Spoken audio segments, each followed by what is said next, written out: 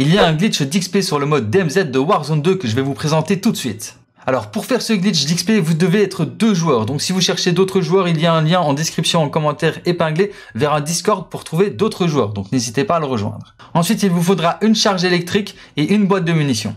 Quand vous les avez, c'est très très simple. Ce que vous allez faire, c'est vous coller à un mur et lancer la charge électrique contre le mur. À ce moment-là, vous activez directement votre boîte de munitions et vous allez voir que la charge électrique va annuler l'animation de la boîte de munitions. Donc là, ça veut dire que vous aurez déjà réussi le glitch, c'est super facile.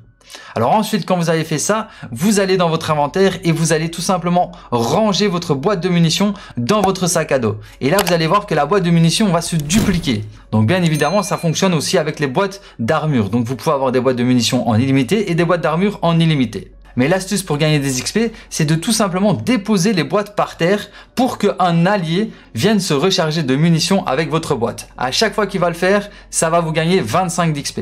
Donc c'est pour ça qu'il faut être deux joueurs minimum. Si vous êtes quatre, vous allez gagner 75 XP par boîte de munitions. Donc vous lancez la boîte de munitions par terre, ensuite votre allié récupère des munitions et là vous allez gagner à chaque fois 25 XP par joueur. Donc ça veut dire que l'arme que vous aurez équipée dans vos mains va prendre des niveaux assez facilement. Donc si vous avez une arme que vous voulez level up facilement et rapidement, bah, c'est une bonne solution. Donc c'est très efficace pour monter une arme que vous avez la flemme de monter en temps normal.